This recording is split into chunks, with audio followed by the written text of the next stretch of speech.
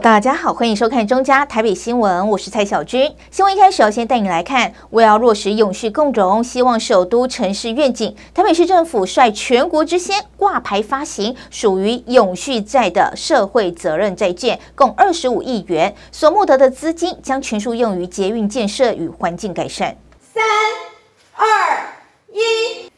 为落实永续共荣，希望首都的城市愿景，台北市长蒋万安十日宣布，北市府率全国之先挂牌发行社会责任债券，共二十五亿元，将全数用于北市捷运建设与环境改善。蒋万安表示，虽然社会责任债券利率较低，但企业购买后是公司治理、绿色金融等 ESG 评鉴非常重要的指标。在这里，我要正式向大家宣布，台北市政府是领先全国、率全国之先，甚至领先中央，成为第一个政府机关正式挂牌发行永续发展债。这不只是代表台北市政府我们推动永续发展、近零碳排的决心，更是要让世界知道台北市政府愿意呼吁。全球近零碳排、低碳永续的行动，我们会全力以赴。大家可以看到，永续共荣，好，希望首都，这是我们新市府团队上任之后，对于未来市政活化愿景非常重要的方向以及指标。所以，我都请团队都要动起来。我们未来推动近零碳排到二零五零，我们希望阶段性完成目标。包括居住，包括交通，包括环保，今天包括绿色金融，全面往前迈进。所以，我们正式发行永续发展债券，永续债，也就是相较于公债，它的利率比较低。那同样的，我们希望透过绿色金融创造三赢的局面，也是对于政府、对市民、对于企业能够三赢。也就对于购买永续债的企业来讲，它可以列为我们金管会，包括公司治理啊，永续金融非常重要的指标，也是 ESG 啊参考的人物。另一方面，我们这一次所募得的资金也会用来台北市捷运新建。其实捷运的新建对台北市来讲，这是持续的工作。我们已经有非常绵密的捷运网络，当然，它提供市民朋友便捷、安全、舒适的运输交通设施，每天有将近两百多万的人次，而且能够带动我们捷运网络周边快速的发展。而这一次，我们有三个亮点，三个第一，除了刚讲到的率全国之先。领先中央第一个政府机关挂牌发行永续债。第二个，我们与国际接轨，也是在我们整个规划投资计划书里面，我们是以联合国 SDG 指标来对接，包括了 SDG 九、SDG 十一，也就是包括工业化、新创以及基础设施，以及第十一项，我们致力打造包容。永续、韧性特质的城市。那第三个亮点，我们也符合现在这个资本市场协会他们所定的最新指标，也就未来不只追踪资金本身的用途，以及以外它所产生的效益成果。所以，我们三个第一，我们相信让大家看到我们推动永续发展的决心。另一方面，我们也让大家看到。我们愿意为永续发展而努力。财政局表示，社会责任债券是永续发展债券的其中一种。由于台北捷运每天有近两百万人次搭乘，北市府发行社会责任债券，可引导国内资金投入具高度社会效益的捷运路网建设计划。永续债它底下有很多的细分类，包括社会责任债、还有绿债等等。但是它的核心价值呢？就是要透过发行公债，将所募集的资金全数运用在具有环境效益以及社会效益的资金。今天北市府选择发行社会责任债，就是因为我们台北市绵密的捷运路网，我们希望让它不再仅仅是绿绿书，更可以深化作为是我们提升整个环境教育，也可以是一个大家可负担的一个基础的生活设施，让这个安全、便捷、舒适、费用低廉的这个捷运设施，成为我们台北市永续发展的一个重要核心基础。今天我们发行永续债，吸引了二十家业者的踊跃参与，用实际的资金行动来支持我们的捷运建设计划。我们所募得的资金总额是二十五亿元，加权平均利率是百分之一点二三七。除了利率低之外，刚刚如同市长这边跟各位媒体朋友还有各各位贵宾说明的，我们的三项首例。那这三项首例真的是创下全国的这个先例。今天能够顺利发行，要感谢的人实在太多，是大家共同努力的成果。财政局表示，北市府发行的社会责任债券是国内政府机关挂牌的首例，也是首例将计划书内容与联合国永续发展目标 SDGs 连结，同时也向世界宣告台北市永续发展、近零碳排的决心。记者林希慧台北报道。再带你来关心，针对国防部发布两次国家级防空警报，立委赖世宝表示，中国其实早就预先公布卫星发射多次，疑问为何国防部只在这一次发布国家级的防空警报呢？手机警报声响，提醒中国发射卫星飞越我国南部上空，请民众注意安全。国防部九号下午三点发布两次国家级防空警报，定睛一看，中英文似乎有些出入。国民党立法院党团召开记者会，质问中国其实早就预先公布卫星发射多次，为何只在这次发布国家级防空警报，且还发错讯息？从去年到今年，因为今年才开开春嘛，才开始而已。从去年二零零三年以来啊，国内的假信息啊，最大的就是这个假信息，因为叫国家级的，国家级警报嘛，而且是防空警报。所有国家级警报里面最严重的就是防空警报，因为防空警报的定义就是什么？飞弹来袭。还有防空警报，或是飞机飞入我们的领空，才有防空警报。其他的国家级警报可能是疫情、土石流、地震，但是最严重、最严重的是国家级警报之下的防空警报，就是我们收到那个 air raid alert，好，防空警报。哇，你发了一个这个我。我我这一生以来最大的这个国家级警报，因为是防空警报，结果后来发现是假的，啊，因为照防空警报的定义啊，不包括卫星啊经过了或经过我们的领空，不包括卫星，我想相关的规定，我们记者会后都会给大家，不包括卫星。啊，结果你卫星你也发防空警报，然后还写错字，把卫星写成飞弹，你愚弄了所有的国人。啊！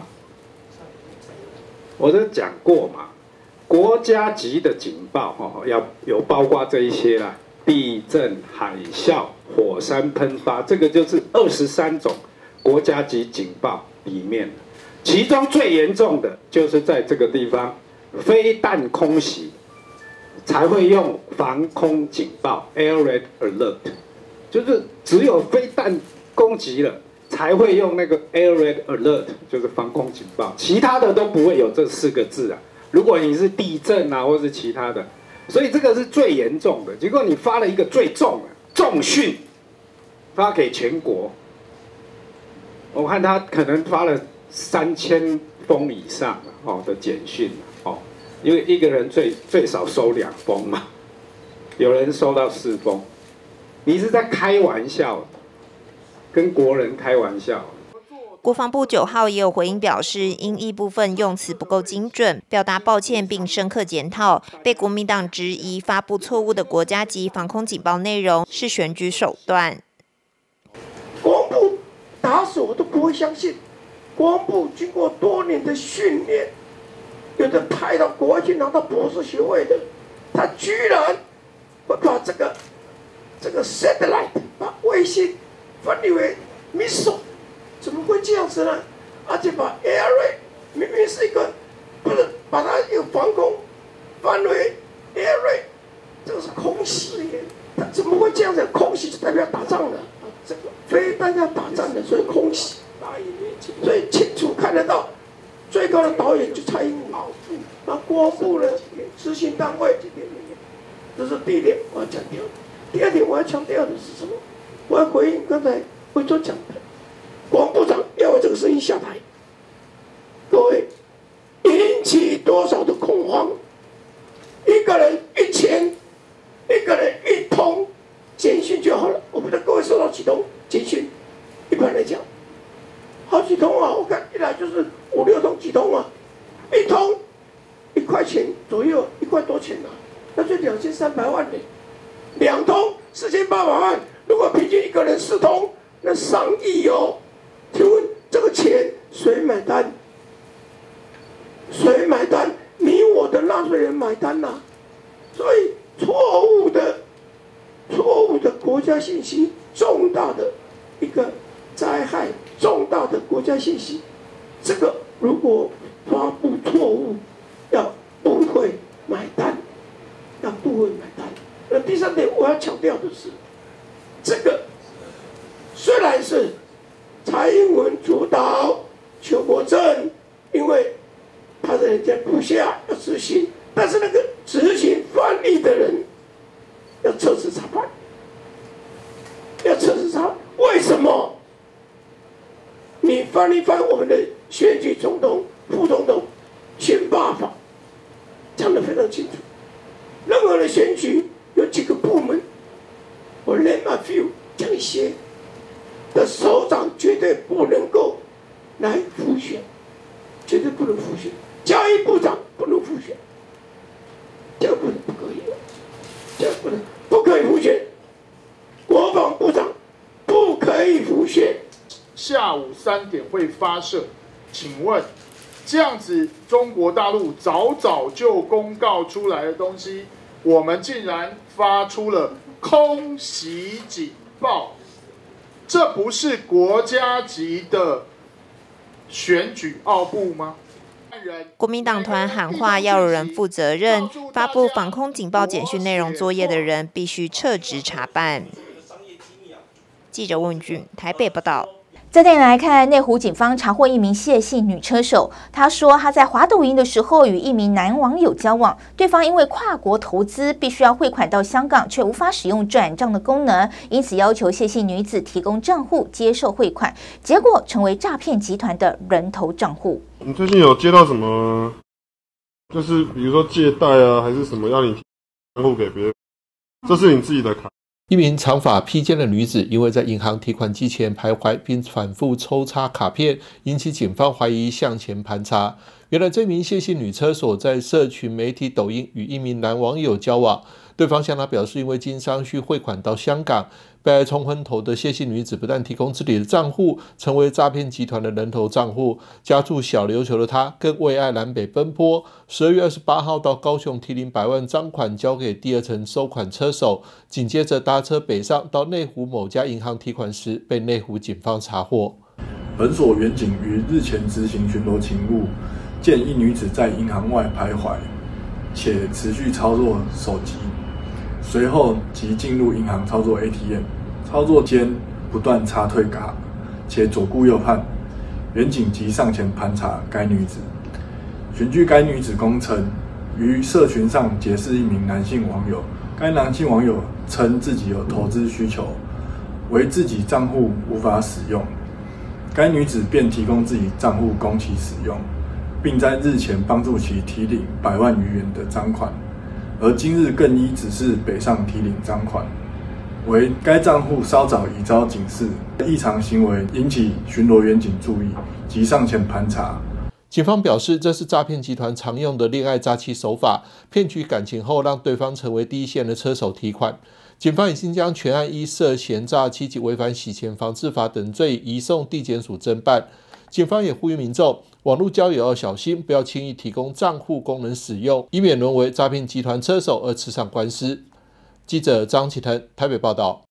接下来要带你来看新冠疫苗 XBB. 一点五，一月九号开打，台北市就呼吁民众接种疫苗，增强防护力，还可以抽总奖两百零五万元的好礼哦。台北市卫生局局长陈彦元率先开打 XBB. 一点五疫苗，以身作则，呼吁民众接种。随着秋冬新冠肺炎疫情升温，农历年节将至，恐增加疫情传播风险。台北市副市长林奕华与卫生局呼吁民众接种疫苗，保护自己与他人。疫苗抽好礼，新冠疫苗防护加一。那而且呢，就因为之前可能因三年，大家对于这个防疫工作，因为是非常每天都非常紧张的在面对。所以一旦流感化之后呢，反而就比较忽略了，在这时候要继续的保持健康、打疫苗的一个重要性。那所以呢，台北市这次特别针对我们新的这个 SVP 的部分哦，要有一个催打啊，要有一个催打。那这个部分大家可以看到这边有写，我们一月一号到一月三十一号呢，就打疫苗的部分，就还会有所谓抽奖的部分。特别是总拿出两百零五万。来鼓励大家来打这个 SBB 的疫苗。那去年我们其实莫德纳已经 SBB 打了大概九万五千多，九万五千多支。那今天这个呃开这个记者会呢，一方面是莫德纳的部分，我们六个月以上都可以打。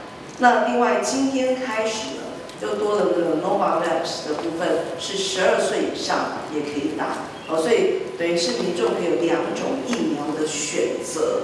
那今天我听到说台医院这边已经全满了，所以就代表说，其他也开始有呃注意到在这时候打疫苗的一个重要性。因为现在到了比较是流行的、更流行的一个阶段。还有一个呢，提醒大家要打，是因为再来就是过年的时间了。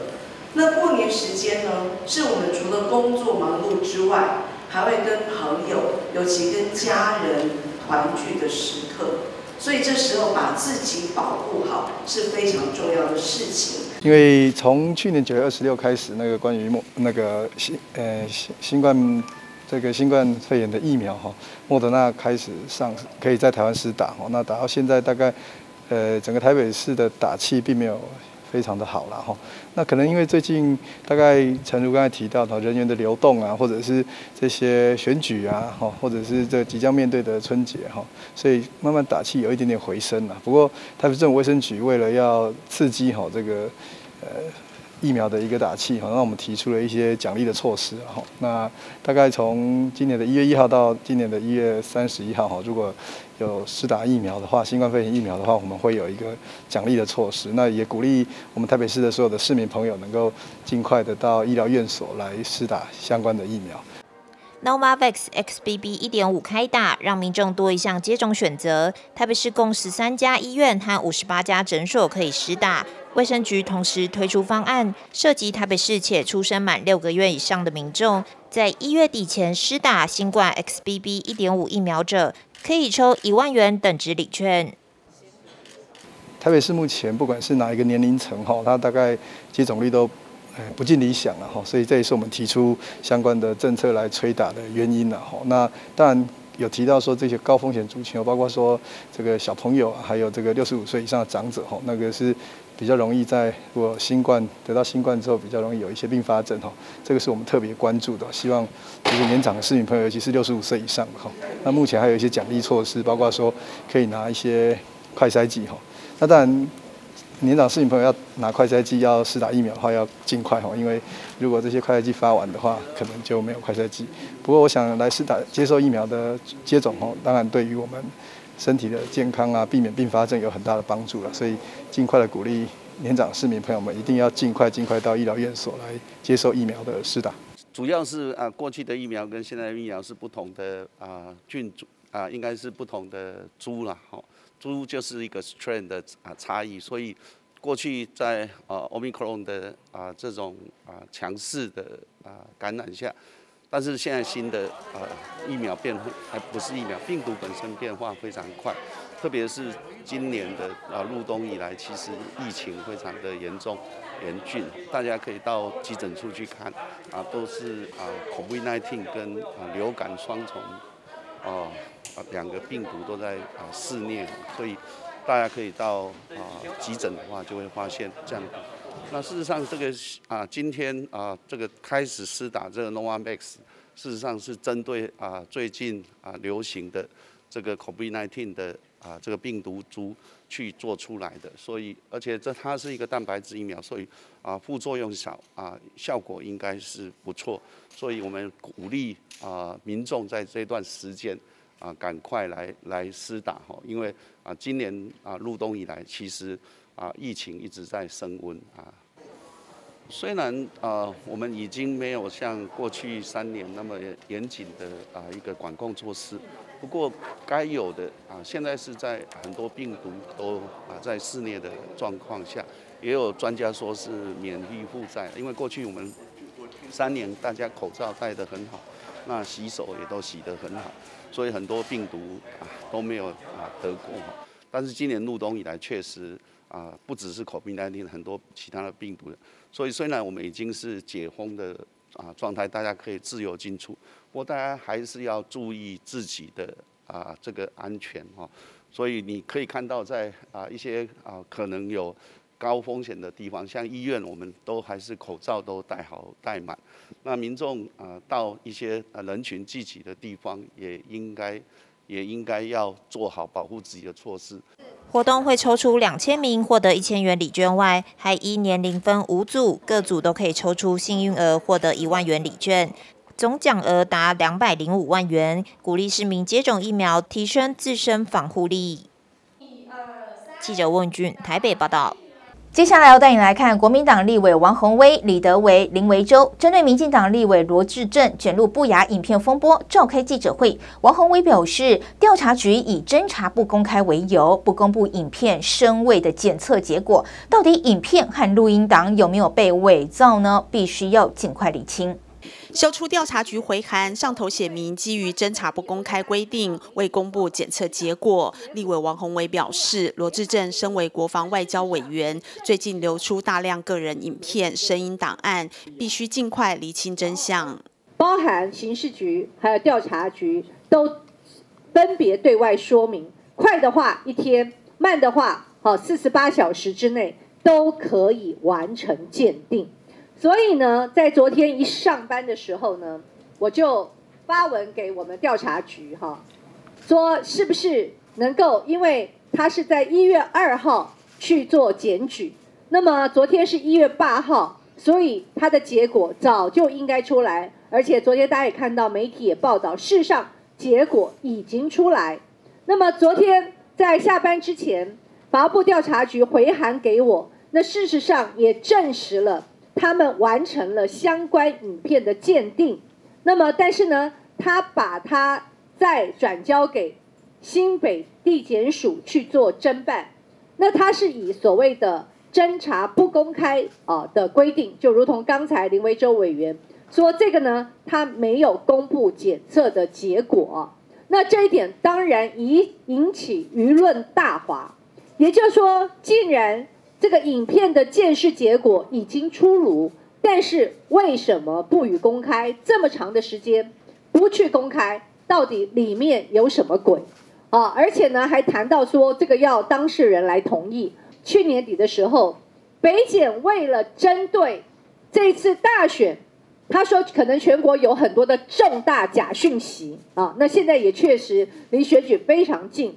当时法务部长、检察总长。亲自视察北检，而且做出一个非常非常重要的决定，要求这些检察官，也就是黑金专组，应该全天候值班，而且遇到全国性重大假讯息，应该立即澄清、迅速下架、溯源追查主嫌。好，如果按照这样的原则，所以还有什么侦查公不公开的问题呢？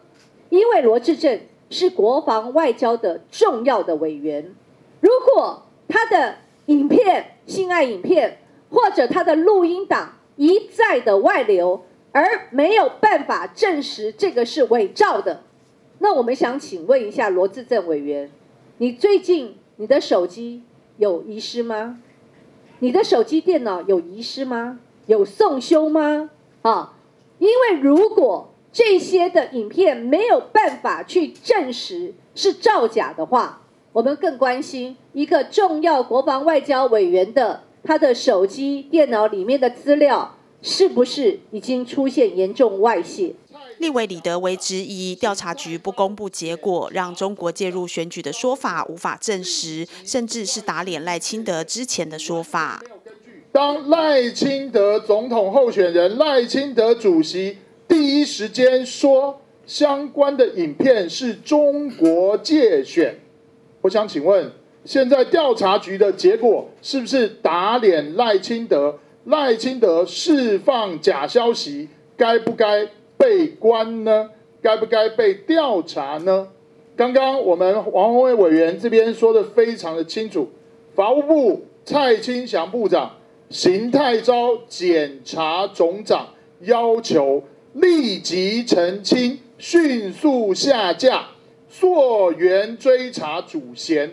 今天主嫌不在哪里，就在我们的身边。请问今天的结果不公布，能够证明是中国借选吗？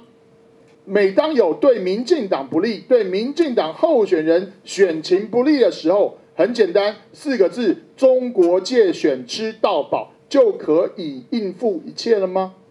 立委林维洲秀出照片，表示影片中可以看到被拍摄的人背后有痣，罗志正大可为自己澄清。好，给大家看呐，看照片呐，这个身体特征呐，那背后哈有一颗痣啊哈，这个影片，其实罗志正委员哦。真的要证明自己不是影片中人哦，那就你不公开那个检验报告，不然你公开你背后那一颗痣啊，给大家看一下。我跟你讲啊，以我们的常理判断啊，身尾做你的脸，这做得出来了。哎，你的身体特征，平常看不到的特征，都在这边。你要打脸这个身尾影片，很简单哎。你的身体特征跟那个不一样啊，不是吗？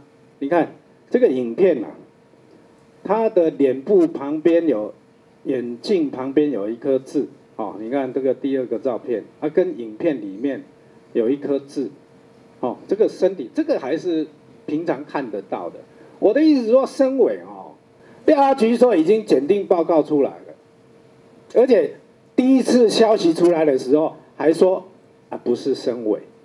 哦，媒体也报道，那后来他们不敢承认这个结果，推给剪掉，那剪掉现在推给当事人，说当事人同意啊，就可以公告啊，那你就同意啊，啊你就打脸呐，大家，然后就说，哎，这个是中共借钱啊。罗志正则是在脸书粉砖回应网传不雅影片以及与蔡总统的录音档都是境外网站借选操作，希望媒体民众不要传播，以免触法。记者林希慧台北报道。什么珍珠奶茶的珍珠竟然是塑胶做的？多吃这种瓜，和癌症说拜拜！全世界疯传的惊人事件。看到这些夸张的标题，您有什么感觉呢？会因为好奇而点进去一探究竟吗？还是已经知道这是毫无意义的农场文？现在我们就带您来理解假新闻的下标题技巧，教您聪明判别：一、文章标题有夸大的声明，像是“你不会相信即将发生的事”，假的；二、出现奇怪或不寻常的动画，通常都是骗局一场，假的；三、跳出轻松赚钱等文字，绝大部分是诈骗，假的；四、出现不常见的影像，例如疾病、扭曲照等，这是骗点击率，假的。五常见罐头用语，像是百万人疯传，大家都惊呆了，简直太神了本，一样是假的。这些耸动的标题，就是希望阅读者能点击点进去后的错误资讯，会造成民众对虚假内容的信任或价值判断错误。因此，我们要牢记一看、二听、三想，让夸大的新闻标题不再影响我们的阅听品质。中嘉集团关心您。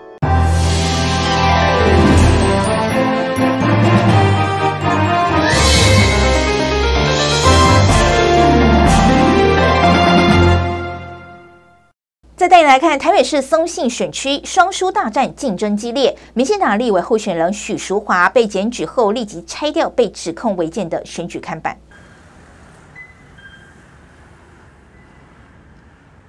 施工人员透过吊车将位于台北市吉林路上这片肖美琴与许淑华联名的竞选海报拆除。当事人民进党立委候选人许淑华也在下方全程关注，因为对手检举竞选看板违规。许淑华表示，只要是违规违法，就依法办理。政治人物更要以身作则，因此尽管距离投票剩不到几天，他仍然决定当天立即故宫进行拆除。可以，我霸气的说，我立即拆除。而且我刚开始，我刚早上发现他指控我帆布广告的时候，我马上去申请入选，马上通知我厂商，我待会就拆给大家看。我也请他立即就拆除，不要拖到明天。我觉得一个民意代表要带头做。就你就要好好的面对，勇于接受错误，好好的承担，好好面对，立即拆除。我觉得他应该也要办得到。许淑华也秀出一张车辆违停的罚单，强调自己绝不会像对手一样当狗仔，会做协助民众解决问题、当民众靠山的民意代表。但是我要宣誓的就是说，只要是违法违规的事情，我会一切依法办理。但是我绝对不会当狗仔，到处去检举别人，或者是制造别人的麻烦。那我要告诉大家，就是其实呃违规事情是小啊，现在这次的选举其实弄到了每次只要是抹黑造谣这样的行径，不断的一直在媒体上一直一直出现。然后呢，我认为说民众也看得非常厌烦。记者张启腾台北报道。台湾媒体观察教育基金会举办第二十三届台湾儿童及少年优质节目颁奖典礼，今年首次新增总评审团看好奖。媒观感谢中嘉宽屏连续五年赞助经费，为推动儿少优质节目持续努力。年度最佳影视节目奖得奖的是客家电视台小欧事件部，恭喜小欧事件部。第二十三届台湾儿童及少年优质节目奖举办颁奖典礼，今年共有一百一十七个节目参与评选，创二十三届以来最多。共有五十九个节目脱颖而出，并选出六名总评审团看好奖，以及年度最佳影视节目奖、年度最佳声音节目奖、影视类儿少评审团奖、声音类儿少评审团奖、年度最佳主题特别奖、数位平权，以及促进性别平。等教育奖与年度创新奖等七大奖项。今年我们有声音类的奖项，所以我们有非常多的 podcast 的节目来参加优质儿童与少年节目的评选。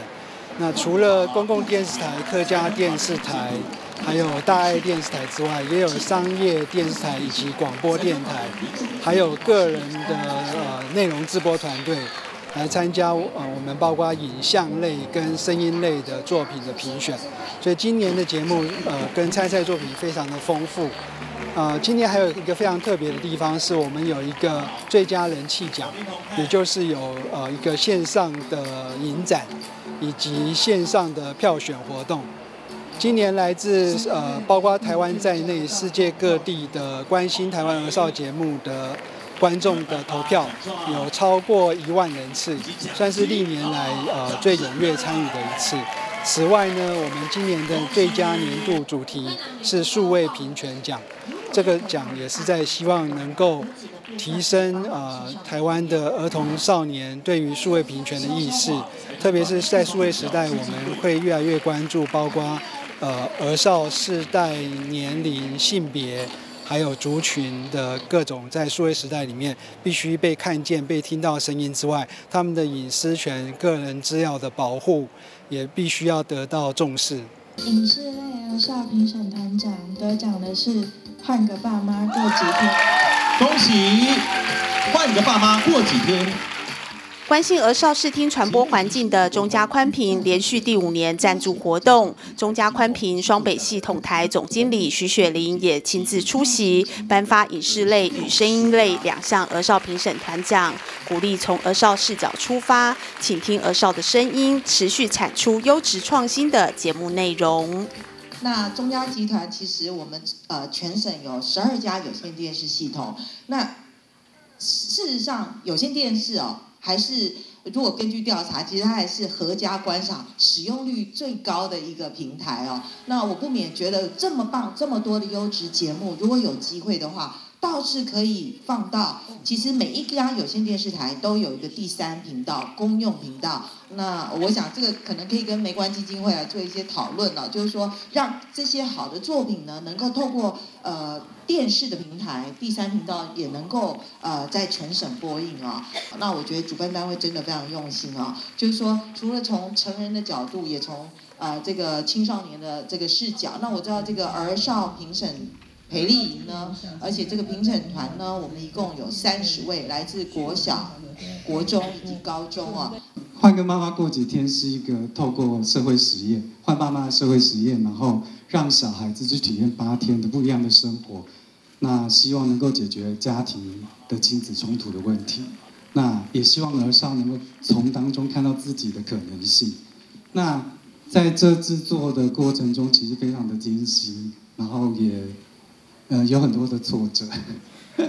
那呃，很感谢所有一路陪伴我们呃完成这一趟旅程的所有的辛苦的工作团队，然后还有主持人，还有最重要的是那六个非常有勇气一起参与这把自己的各种的可能性把它展现出来。观察今年参赛节目，评审团表示，影像类可在多元开发制作剧情片类型的节目，而声音类可以发现今年题材相当多元。同时呼吁媒体多关注并直播零到六岁学龄前优质儿童节目。我们如果是以影像类来讲的话，我觉得我们的类型还可以再多元开发。如果像今年我们看到的剧情片只有两部，那如果说能够在，因为小孩子喜欢听故事嘛，那所以如果我们能够多拍一些儿童电影、儿少的电影，那还有就是动画影集，因为这两种类型是孩子最爱看的。可是这是我们在这一届里面，我们大部分看到都是非剧情片的。我们知道他制作的很用心，所以影像类我觉得这个地方很有可为。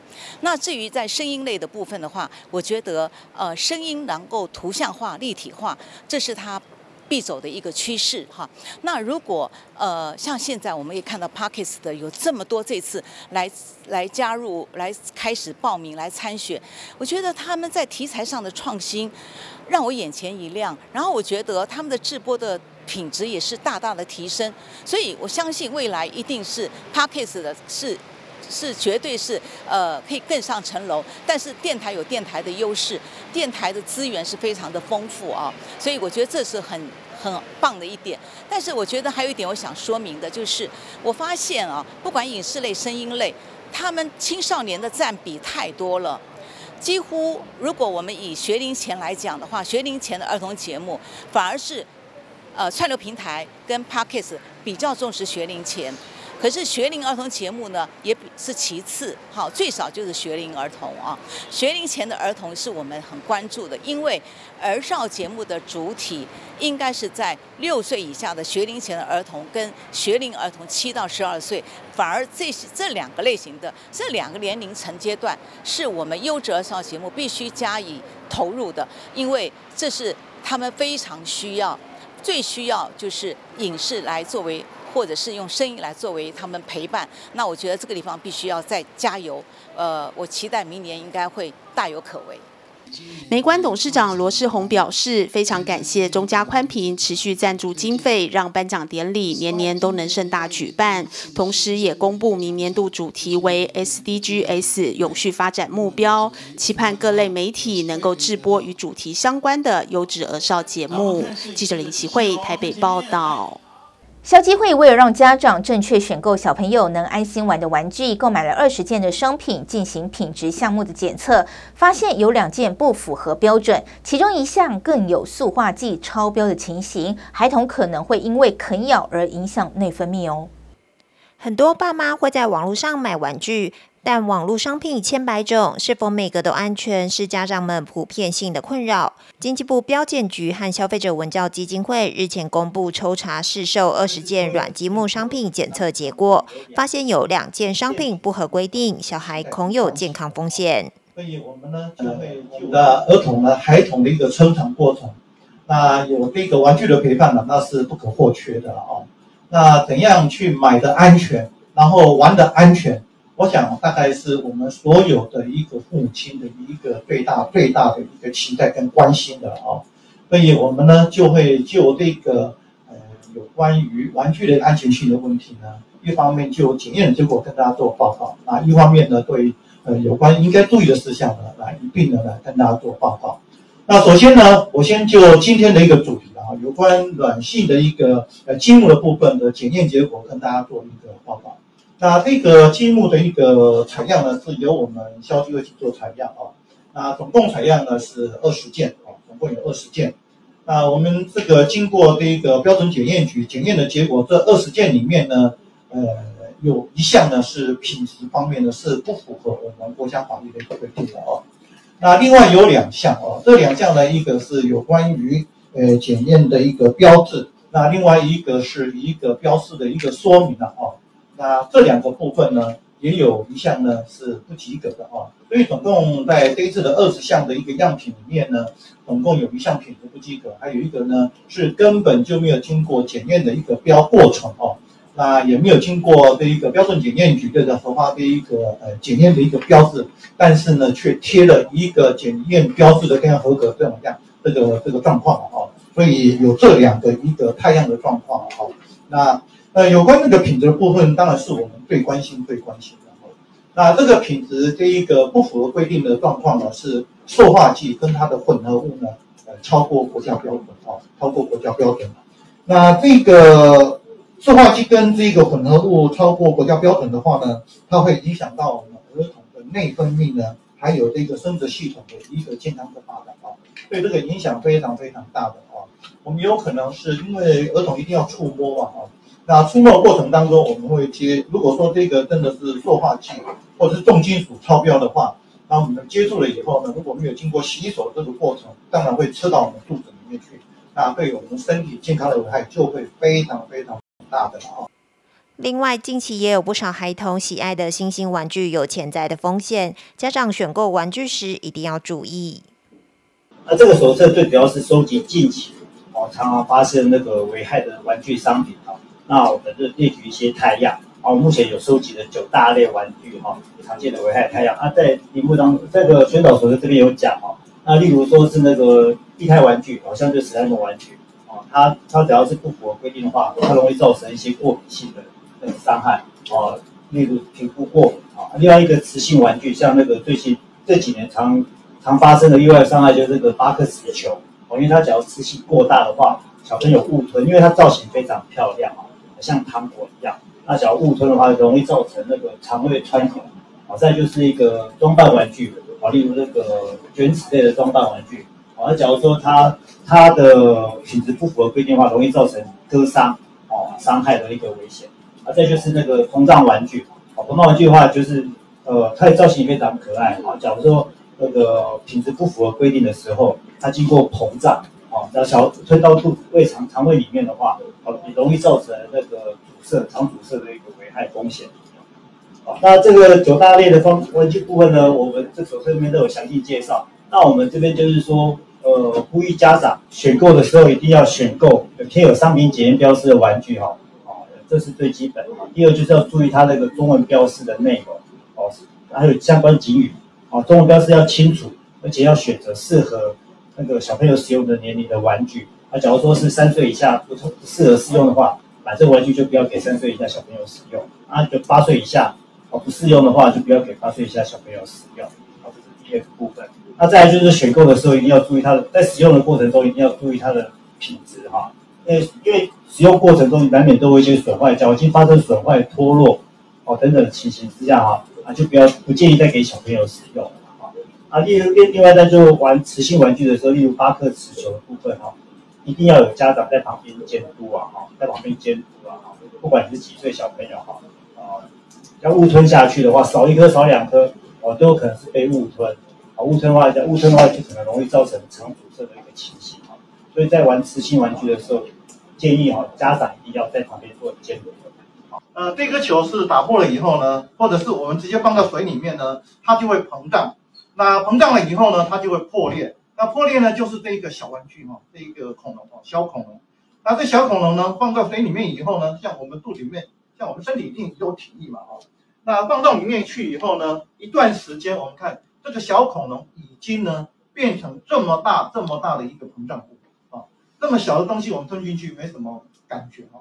可是呢，在我们在我们肚子里面以后膨胀到这种地步的话，我想一定会对我们的这一个呃我们的小朋友的他的一个身体的危害会非常非常大的哦。那这个是一个铁齿，类类类似铁齿这样哈。那这个打下去呢，用力打下去，哦，它大概就会把我们手卷住，甚至会造成呃做成一个手表的一个造型。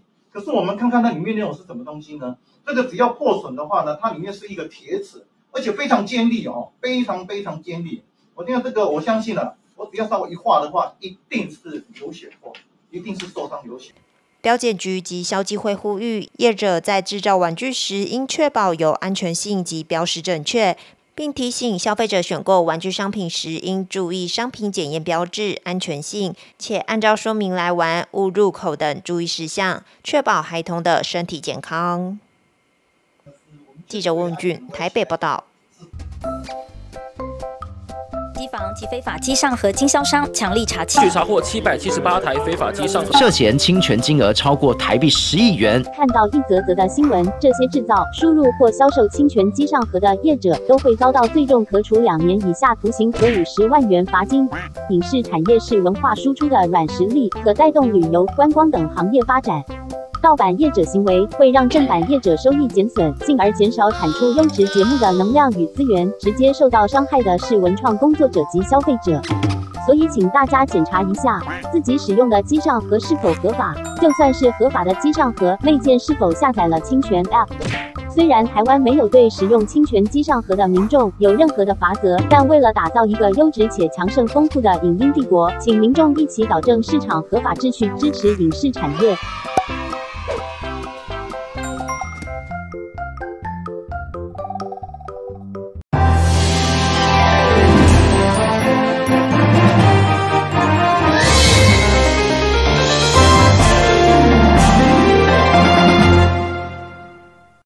基隆市政府规划大班幼儿到演艺厅观赏剧团表演，迈入第八年。这一次连续三天，共五个场次，透过戏剧落实品德教育，也让小朋友们认识剧场礼仪。最大声！掌声欢迎卖造玩具小偷！老师觉得他们的心情怎么样？很兴奋，就是很期待这出的演示。那因为有的小朋友他还没有这样子的剧团的看剧团的初体验，今天是他们的初体验，这样子。对，再大声一点！小朋友们直说好开心，因为市政府邀请全市的大班小朋友到基隆表演艺术中心观赏儿童剧。小朋友们每人手拿一张入场票券，在老师的带领下，有秩序的从入口进入演艺厅，体验过程充满教育意义。对，然后还有跟孩子的互动，对他们今天来都很开心。对，真的很谢谢有这个活动。对，谢谢。会不会前几天开始期待？哦，会很期待。我们会跟跟他们开始讨论说，啊，你们会觉得会，因为我们有跟他们讲剧名是什么，他们觉得说，你们觉得这个在演什么呢？那他们就会有天马行空的一些想象想法。对，我们说，那我们今天就来看看是不是跟我们想的一样。对，然后会跟他们讨论说，呃，来看戏要注意什么事情。对对对，包括从游览车啊，然后到到戏剧的现场。对，然后还有等待的时候要注意什么事，还有跟戏剧的演员互动，因为我们座位在很前面，所以我们有跟他们提醒说，就是互动的时候要注意的一些礼貌。对对。今年由如果儿童剧团带来精心策划的儿童剧，在小朋友热情的呼唤下，四只可爱的小恐龙一一上场。故事主要是传递分享的快乐。市长谢国良也亲自到场与小朋友同乐。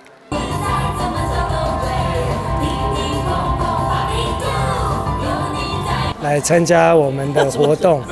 我是强哥啦，强哥哦，不是美国奶奶 哦，感觉是强哥哦，就是看我们节目长大的，对对对，太好笑了。对，今天很高兴我们赵志强强哥是来参加我们的很有意义的这个儿童剧场的体验活动。对对对。那我们现在在基隆基本上就是啊，可以说全面式的让啊孩子在基隆长大，甚至让外地的父母带孩子到基隆游玩，都能够有一个好的体验、舒适的环境跟一个。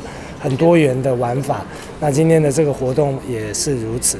谢谢强哥今天的到来，跟我们增添光彩。谢谢，谢谢市长，谢谢谢谢。也希望有机会能够呃更多的艺术工作者、表演艺术家，或者是其他的各类型的艺术工作者，在基隆能够为小朋友、为同学们来来来互动、来交流。嗯，基隆其实是一直是我们很期待在这边能够展现的舞台。这个剧场体验活动也特别邀请伊甸基金会早疗班学童共同欣赏，将译文欣赏融入爱与分享。而从现场观察，透过剧场的互动，也让小朋友能学习剧场礼仪，落实品德教育，借此学习到课本以外宝贵的知识和经验。记者黄日升、陈淑平基隆报道。由基隆市政府举办的基隆卤肉饭王者争霸活动进入倒数，市府发言人于志明呼吁市民和游客把握机会，赶快来基隆品尝卤肉饭美食。色香味俱全的卤肉饭让人食指大动。基隆市政府首度举办的基隆卤肉饭王者争霸活动已经进入倒数阶段，市府发言人于志明呼吁市民和游客把握机会，来到基隆品尝卤肉饭美食。也上网为心目中的卤肉饭店家投下一票。如果说想要知道说我们卤肉饭的这个合作的优惠店家的话呢，大家首先可以先在我们的 Google 搜寻的页面来搜寻我们基隆卤肉饭王者争霸，然后点击第一个就是这个 ET 团队这边的活动网站。到了活动网站了之后呢，大家可以先找到最右边的合作店家，好，合作店家就会看到一个。云端的一个 PDF 档，上面总共会有四十家合作的这个卤肉饭的店家。那呢当中的优惠呢，不外乎大概有三类。那第一个是它可以现折五块钱。那第二类呢，它大概是就是它会赠送你小菜。那第三类的话，它是有限量的赠送你小菜，大概是这三类。就说民众呢可以透过，如果说你今天很想跟朋友吃卤肉饭的话，可以来这边搜寻，然后呢也可以在现场来进行一个折抵优惠。那除此之外，如果说你对卤肉饭非常满意的话，你也可以来参与我们这个网站上面的一个投票的活动。我们一样来到官网，按到我们的投票专区就可以进行投票。那你可以在这边，它会有一个搜寻的一个选项，你可以打上。你喜欢的这个卤肉饭的店家打上去之后，就给他投票。那其实可以发现说，我们基隆其实真的是一个非常有人情味的地方哦。因为其实我在上个礼拜不久前，就是我到我们庙口，就是有一个专门卖羊肉的卤肉饭的店家去吃。那吃完之后呢，老板直接就跟我说说，哎，呃，我们现在有在办活动啦，就是只要就就是会有折抵五块钱这样子，你不用出示任何东西，店家就会直接告诉你说，我没有在办活动。于志明也分享日前主持市府的广播节目《基隆 Podcast》，邀请五百碗评审，也是台湾文史作家曹明宗老师提到，基隆卤肉饭可分为两大门派。有兴趣的民众可收听节目，来深入了解基隆的卤肉饭特色。这个也是曹明忠老师他个人的一个分类的方法，我其实觉得也非常的惊讶。就是说，呃，在基隆，他把它分为两大卤肉饭两大门派。第一个是酱甜派，好，酱甜。酱甜派的话呢，就是这个所谓的大家最知名的天意香卤肉饭。那他也特别去强调说，其实天意香三十一号跟二十九号卤肉饭专家，其实他们两家是系出同源，只是呢之后发生了分家的一个状况。好，这是以酱甜派为主。酱甜派特色就是它会在卤肉饭的酱汁当中会加入一些糖，所以你吃完之后会有甜甜的感觉。好，那另外一派呢，就是所谓的酱香派。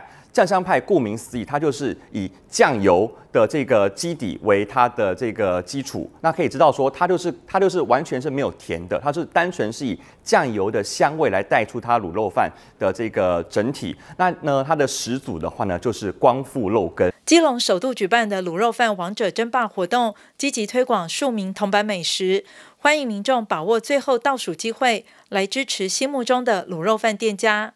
记者黄日升、陈淑平，基隆报道。民众党总统候选人柯文哲、副总统候选人吴欣盈昨天到基隆庙口奠济宫合体参香，与民众合照，在国门广场开讲。好。来到基隆爱思路夜市，民众党副总统候选人吴欣盈才一下车，受到支持者热情欢迎。谢谢。不好意思。嗨，老板好。好。走到甜点摊位前，当然不能错过基隆美食，还拿起麦克风向民众预告。各位基隆庙口的朋友们，大家好，大家晚安。我是吴欣盈，民众党副总统候选人，是我本人。今天晚上特别来到新基隆庙口拍摄，在这个附近呢，跟大家打声招呼。我们待会儿七点半。七点的时候会在庙口前面集合，我跟柯主席都会在这边。希望啊，朋友们有空的话来听听我们演讲，来支持我们，谢谢你们，祝大家哦，直播的朋友们大家好，然后跟大家先拜个早年，龙年快来了，祝大家龙年行大运，后文东来啦，财源滚滚，大家这边赚大钱，身体健康，万事如意，谢谢你们，谢谢大家。而在基隆庙口电机宫广场，早就挤满热情的支持者。民众党总统候选人柯文哲与副手吴欣盈，在基隆市副市长邱佩玲的陪同下，到庙里上香祈福之后，随后来到广场，受到民众热情欢迎。而民众党在国门广场举办了民众开讲，包括党内要角黄国昌、黄珊珊都陆续上台。晚间七点左右，国门广场已经涌进上千位民众。不过，基于正副总统候选人安全考量，民众必须在广场外先进行安检，才能进入管制区。我希望说，我们一起努力哦，改变就会成真，你知道？还有一个，我们一起努力，你知道哦？我们可以留下一个更好的桃园给下一代，这就是我们要努力的目标。所以哦，这次选举真正的目标。我们要把国家赢回来，再重新交还给人民，所以义无反顾，拼一次，真的义无反顾，拼一次，相信美好台湾会在我们手中实现。好，谢谢大家。